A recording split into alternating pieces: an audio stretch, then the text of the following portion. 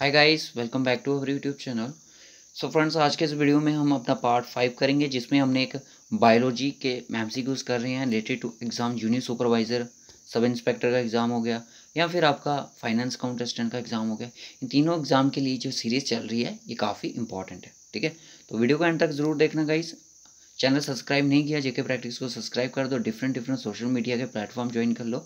इससे पहले हमारी चार वीडियो ऑलरेडी अपलोडेड अगर आपने अभी तक नहीं देखी है डिस्क्रिप्शन बॉक्स में आपको प्ले लिस्ट का लिंक मिल जाएगा साइंस का, जेके का। उसमें और भी बहुत सारी वीडियोस हैं, वो भी आपकी हेल्प कर सकती हैं एग्ज़ाम के लिए तो आप उनको भी ज़रूर देख लेना। तो चलिए मैं एम सी की सीरीज़ को स्टार्ट करूँगा, और आज का जो हमारा फ़र्स्ट क्वेश्चन है, ये थोड़े मिक्स क्वेश्चन है, ठीक है? यानी कि सभी टॉपिक से रिलेटेड हैं, जो आपकी बायो है, ठीक है? Which of the following is not a member of the vitamin B complex इनमें से कौन सा जो एक मेंबर है जो विटामिन बी का कम्प्लेक्स नहीं है? क्या वो थाइमिन है रेबोफ्लेबिन है या फॉलिक एसिड है या फिर स्कॉर्बिक एसिड है?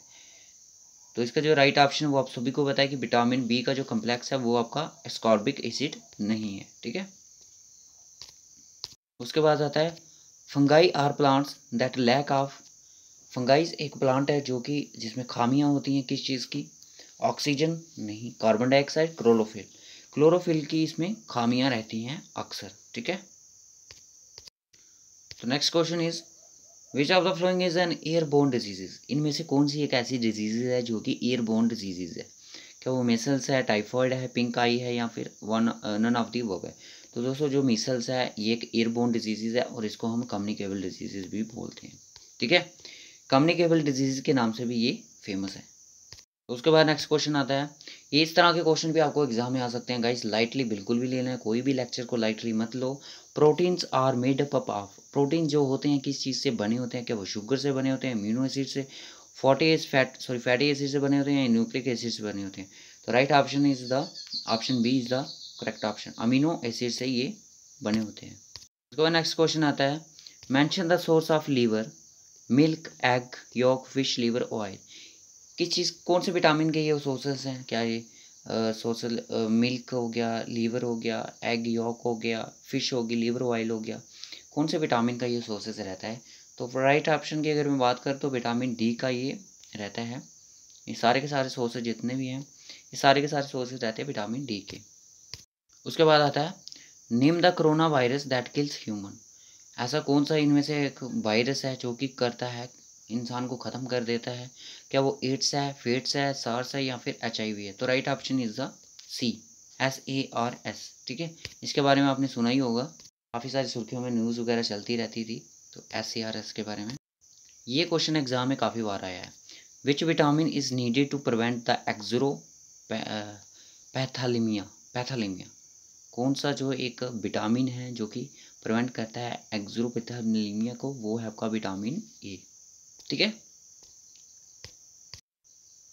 तो गाइस स्टॉक असिस्टेंट के जो एस्पायरेंट्स हैं तो जैसे ही इनका यूनियर सुपरवाइज़र का एग्ज़ाम ख़त्म होगा, उसके बाद हम एक, उनके लिए भी कुछ अच्छा लानेंगे अभी तो अच्छा ही चल रहा है, वैसे अभी मैथ जो काफ़ी डिफ़िकल्ट है डिफ़िकल्ट नहीं है, मेरा मन, कहने का मतलब ये है कि वो काफ़ी लेंथी है। तो थर्टी प्लस लेक्चर तो उसके बनने ही बनने हैं। तो रीजनिंग जल्दी हो जाएगी। जीके और जो मैथ की मुझे टेंशन है जीके और मैथ के काफ़ी सारे लेक्चर बनेंगे, ठीक है? सबसे ज़्यादा जीके के बनेंगे। तो देखिए जीके को हम कर देंगे डिवाइड ठीक है, अगर मैं बात करूँ चलो इस चीज़ को अलग से डिस्कशन किया जाएगा। तो राइट ऑप्शन उसका हो जाएगा hepatitis is a general term for a disease that is caused by virus ठीक है? उसके बाद नेक्स्ट क्वेश्चन आता है which among the following is not example of carbohydrate इनमें से कौन सी एक एग्ज़ाम्पल है जो कार्बोहाइड्रेट की नहीं है? तो ये आपकी ग्लाइसिन आपका नहीं होता है। तो मैं आपको बता दूँ कार्बो की कौन से टॉपिक आपका न्यूट्रिशंस में आता है, ठीक है? न्यूट्रिशंस में तो इनमें से आपने बताना है कि इनमें से कम्युनिकेबल डिज़ीज़ कौन सी है? क्या वो आस्थमा है स्कर्बी है मिसल मैंने अभी बताया सर कि मिसल है जो एक आपकी एयरबोन डिज़ीज़ है। Mushrooms are can be mushroom जो है, ये ब्राइटी ऑफ़ फंगस है, या फिर fleshy fruiting bodies of the fungus है। Ground small shades of plot बिल्कुल इस चीज़ का मुझे पता है। और ये भी पता है कि फंगस की तरह होती है, इस तरह से होती है इस तरह से, इस तरह से कैप टाइप बनी होती है। ठीक है ना? तो ये सारा का सारा इसके ऑप्शन है, ठीक है? ऑल ऑफ़ द उसके बाद नेक्स्ट क्वेश्चन है which of the vegetables has abundance of B A C vitamin B और ए सी का अबंडेंस है, कौन सी वेजिटेबल तो that right option is the tomato उसके बाद आता है next question what is another name of vitamin K vitamin K का अनदर नेम क्या है? क्या वो निक्टोनिक एसिड है रिबोफ्लेबिन है थाइमिन है या फिर two methyl one four naphthoquinone तो आपने देखा होगा कि जो विटामिन है ये भी कम्प्लेक्स में है वन टू थ्री दो विटामिन के हैं, तीन विटामिन हैं इसके। Which of the following is the richest source of vitamin C इनमें से कौन सा एक रिचेस्ट सोर्स है जो विटामिन सी का है? वो है आपका ऑरेंज ठीक है? विटामिन सी का और क्या है? वो है आपका ऑरेंज ठीक है? अब बात करते हैं कि कल रात को नौ बजे, इसी टाइम पे कल आपको साइंस का लेक्चर नहीं मिलेगा। क्यों नहीं मिलेगा? क्योंकि कल रात को नौ बजे फाइनेंस अकाउंट असिस्टेंट वालों का सेक्शनल मोक है जीके का, जो कि उनकी थर्टी मार्क्स की सेक्शन है, ठीक है? दोपहर तक कल ये अपलोड हो जाएगा वीडियो रात को नौ बजे ये ओपन हो जाएगा कि सभी कैंडिडेट्स को इस चीज़ के बारे में पता चल सके। मैं इसको यूट्यूब पे पोस्ट कर दूँगा, ठीक है? पोस्ट पे क्या होता है कि सभी कैंडिडेट को इन्फॉर्म हो जाता है तो मैं इसके बारे में रात को ही बता दूँगा कि कल रात को नौ बजे हमारे यूट्यूब चैनल पे सेक्शनल फ्री होने वाला है। मैंने इसके रिलेटेड वीडियो भी अपलोड किया था।